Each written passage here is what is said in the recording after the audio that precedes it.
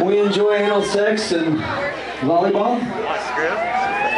Just kidding, we hate volleyball.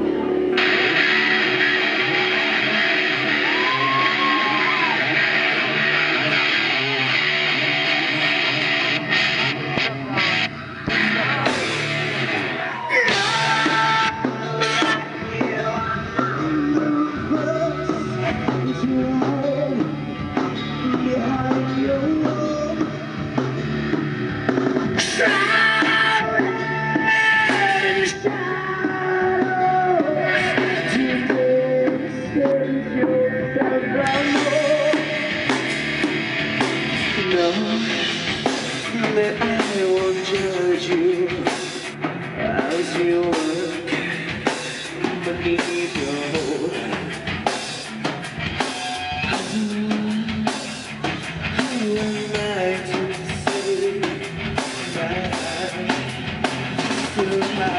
you.